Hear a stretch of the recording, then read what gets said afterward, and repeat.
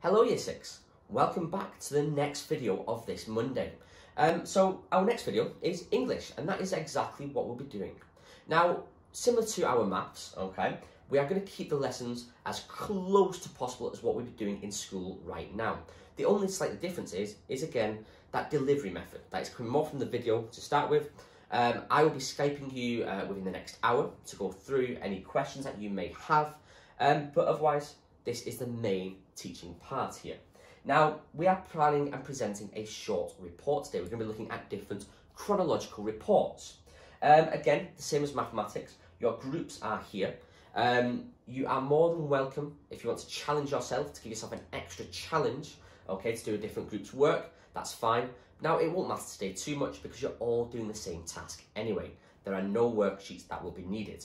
However, before we go any further, make sure you do have a pen and a pencil, or a pencil, uh, and a piece of paper next to you to make down some notes or to complete any little mini activities in this video. Now, your first one, as we would do in school, is we're going to be looking at a Spag Ninja starter. Um, so I would like you to add these things to these different sentences. So get ready to pause the video, have a go at it, and when you've done it, press play again, and then we'll be able to get on with the next part of the lesson, okay? So pause the video now. Right, okay then. Um, I hope you've got all of these um, completed by now, and here are your answers, okay? So to add the comma, to make a fronted adverbial, okay, before I go to bed, comma, because remember we could take this away, and I clean my teeth and brush my hair is the main clause. It would still make sense on its own, it's strong enough. Um, this is obviously giving us some more information. Add commas to the list. Well, these place names are the list, so make sure you've got a comma here and here. Um, add a or an to this sentence. Now, remember, it's a vowel sound here, so it's going to be an. Okay. Add the hyphen, strong hyphen wills. Okay, it's joining those two um, adjectives to make a compound adjective. Be careful with this one, okay? But keep it in your head because we will be doing this again later this week. And add capital letters. Uh, Disneyland, Paris, January, December, Monday, and Sunday are all proper nouns and therefore need capital letters. Okay, so well done if you got all of those correctly. Now, today we are going to be looking at chronological reports. Have a little think, what is a chronological report? We have discussed both of these words before. Can you remember what they are? Now then, what is meant by chronological report? Well, a report is usually a formal text uh, that gives information about a particular subject. So again, formal, that means no contractions. Um, again, something that you might write more seriously than maybe talking to your friends. So again, think about no contractions, think about the uh, voice uh, that you use, and again, no slang words involved. And it's about a particular subject. Now, chronological and non-chronological, we can have both of these as reports. We're going to be looking at chronological reports. Chronological. Can you remember what that means? it means time, okay? So chronological reports are in time order from when it happened, what happened next, then next, and so on, until the end. Non-chronological can be in different order. The time doesn't matter too much. So we're going to look at reports that are in time order, chronological reports. They are similar to recounts. That's when you say about something that you've seen or heard, uh, maybe you've done it, so like what you did at the weekend, you would tell me in time order. You wouldn't start by telling me that you went to bed at night, but then you woke up at, uh, that morning earlier in the day, then you did something. It'd get very messy. So chronological reports are in time order about something you have seen, heard, done, or maybe even investigated, like a science investigation. And they are written in the order that things happened. Now, examples of these are newspaper reports, sports reports, Again, it wouldn't make sense to put these into a jumbled up order because it wouldn't help the reader to understand what's going on. Uh, biographies, uh, interviews, and a police report. These are all different examples of places that you may find a chronological report. Now, let's look at the features of chronological reports, okay? So let's look at the features here. Now, these are possible features. You may not get all of them, you may uh, get only some of them, okay? But these are possible features to help you identify if this is a chronological report. If you want to make down any notes, you are more than welcome to, but I will send this file today onto your Skype uh, group so you can have this copy of this as well. Um, now, chronological reports will use time connectives. Oh, sorry, I went a bit sideways there. Um, they will use time connectives such as um, next, meanwhile, finally, and many, many other time connectives that you could use that are powerful that help your writing as well. So look for those time connectives. Present tense, okay, usually happening now, except if it's historical, okay, uh, basically it's happened in the past. In that case, they will be in past tense.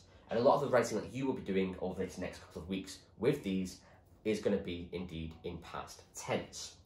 They could be in first or third person. Uh, they are factual, so they give information. They answer questions such as who, what, where, when, how. They will include direct quotes, okay, from witnesses. Again, we've talked about those before. So if it said like um, Mary, 53, from Carlisle, uh, told us that, then that would be a quote because we're telling who has said this. Um, paragraphs, a key one. Now remember, a non-chronological, sorry, chronological report will always start with an opening and a conclusion. An opening, what you're going to be talking about. A conclusion rounds off everything that you have spoken about, plus your paragraphs in the middle. So again, paragraphs are key. Uh, they may include labeled diagrams or illustrations. Depending on the chronological report, they could be chatty and very informal, okay? Um, or most likely they will actually be formal pieces of writing. Um, we are going to be looking at the chatty version today because you're going to be filming one for me. Um, but generally, okay, they would be more of a formal report. You may have examples, uh, for instance, or such as. Uh, you'll use generalized language. You might even have technical vocabulary. You may, for that one though, if you had those, you would need a glossary. Remember, glossary explains those technical words to the reader if they don't or they may not understand. And of course, probably one of the most important ones here is the structural signposts. And what I mean by that are subheadings and bullet points. This one here, the subheadings are key, okay? You will need to use subheadings in your written reports. So these are the different features that you might find in a chronological report. Remember, a report that is in time order. Now then, if we look at our task for today, you're going to be creating a short report, about 90 seconds, of something that you've seen or you've witnessed or that has happened.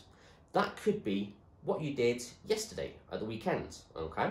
That could be about something that happened in school last year. It could be something about a holiday that happened two, three, four years ago. It doesn't matter. But you're going to give me a short report. Remember, that will be in time order because it's chronological report. Your oral report, which is spoken, should be no more than 90 seconds. So I don't want a 5, 10, 20 minute video. 90 seconds. Um, so try and use those features that we have mentioned but it might be helpful if you plan your report out first. Well, how could that look? Well, this is an example that I did earlier today. Um, so my report that I would be speaking about would be my day yesterday. What would I talk about first? What happened first? Well, of course, I woke up. Now I wrote here, woke up with boys jumping. So they come running into the room and they jumped onto the bed to wake me up.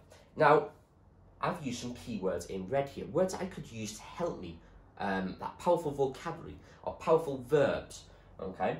Delightful, okay? It was delightful when they come with their big, happy, smiley faces running into the room to wake me up.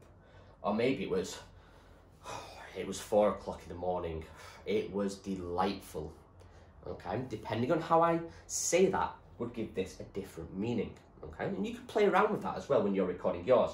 But this is my first one here. The next one, made breakfast. Again, keywords I might want to uh, use, uh, but powerful words as well. Yawning, stretching, okay? And I could use these in my spoken reports. What happened next? I completed the Joe Wicks workout to wake up for the morning. Again, wearily. I was weary as I was doing it. Uh, without motivation, I was tired.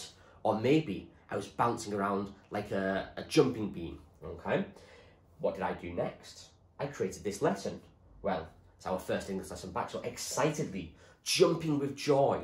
And again, these would help me as I'm talking to make sure that I use these keywords um, in my sentences. So plan out your report first. You could do a little map like this. Remember, time order, it's a chronological report. So plan what you did. You could use some keywords there if you want to, and then you'll be recording it. So, your tasks for English Year 6. Number one, create a plan for a short report. Remember, it's chronological time order. Number two, remember those features that we talked about. Make sure that you include those features or the ones that you can do in a spoken report. Again, I will send this file to you on Skype so you've got it. And number three, I would like you to film yourself, okay, or get mum or dad or whoever else is at home to film you sort of performing your report. Again, I want to have the completed uh, reports, completed videos sent to me before 4.30pm today. And I'll give you some feedback about the good things that you had in your spoken report. So this is your task for today. Plan, remember those features, and then film your chronological reports. Okay, I will be Skyping you again over uh, the next hour, and in that time we'll be able to talk some more about these features as well. So, year six, remember, if you have any questions, um, you can send me a message and I will get back to you as soon as possible. Um, otherwise, I look forward to speaking to you shortly. Have a wonderful English lesson and speak to you soon. Bye bye.